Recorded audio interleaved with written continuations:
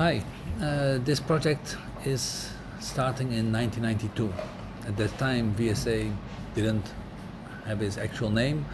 Uh, we were four, five employees, and uh, so just just starting actually. And when the the client called us, uh, it was to give him an opinion about a, a facade that creates some trouble for him. Um, every year, three to five glasses tempered glasses exploded and fell down. And when that happens in a court of justice in Lille, that is a problem. Uh, it makes a huge noise. I attended once such glass falling down. It is really like an explosion. Um, so the architect, uh, there was no architect. It was an architectural competition, but it was mainly a competition for technical uh, consultant or facade designers like we are the, um, the idea was to first start analyzing the building and why were the glasses breaking. And we found out that the clamps between the that holds the glasses together and fix them to the cantilevered uh, glass fins, those clamps were not designed in the correct way. So after some some time, the, the some glasses slided down and became self-standing, while others remain remain hung.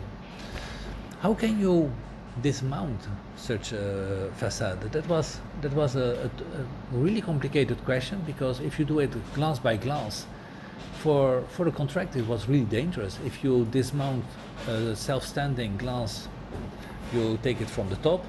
If you dismount a hung glass, you must start from the lower part. So when you don't know, you cannot start in the middle, right?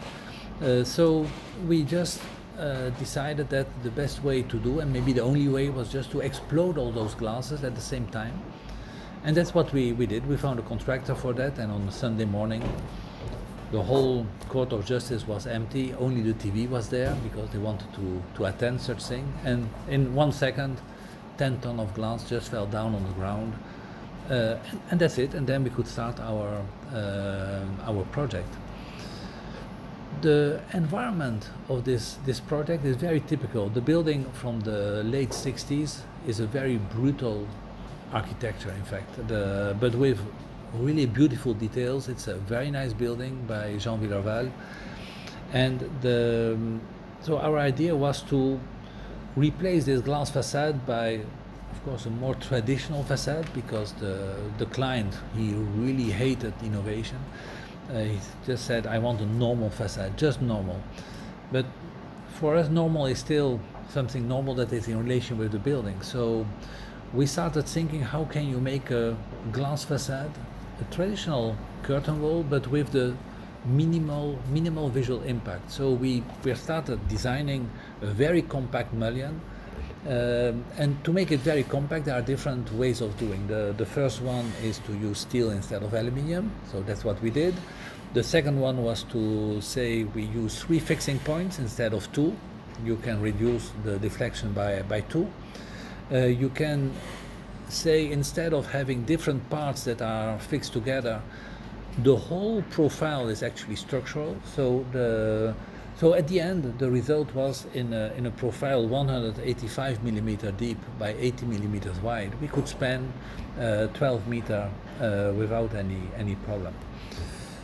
The um, the nice thing of this is that the the whole environment is raw materials and raw steel uh, has a problem of corrosion. We know, uh, so we just decided to do it in stainless steel. Maybe a little luxury but, uh, but extruding stainless steel is a technology that uses a French patent from the late, late 19th century.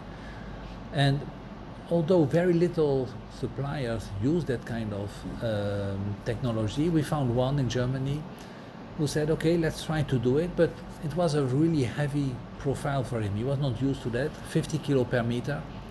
It's, it's really huge. Um, so we started uh, designing this uh, this mullion um, a little tapered on the on the inside to even reduce the visual impact of it.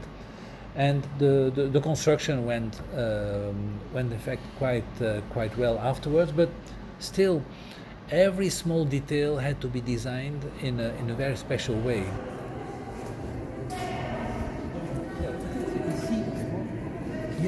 Un petit peu de délaminage The-.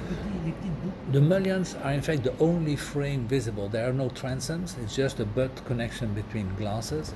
The setting blocks are small triangular pieces of machined steel that are fixed to the mullion.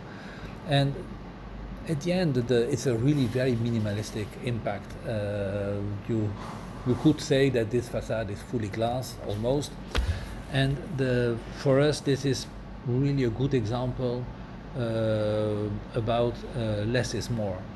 Um, yeah, it is hard to do less, in fact. So um, we are happy with this project, and the client is extremely happy. He feels he has a traditional curtain wall, and we feel he has an extraordinary curtain wall. But we are both happy.